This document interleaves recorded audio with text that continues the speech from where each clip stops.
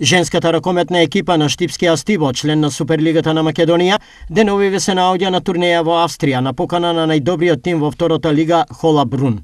Штипјанки ќе учествуваат во промоцијата на австриската екипа за најдобра во втората лига. Во Холабрун во машката екипа игра и штипјанецот Владко Митов, екс-репрезентативец на Македонија.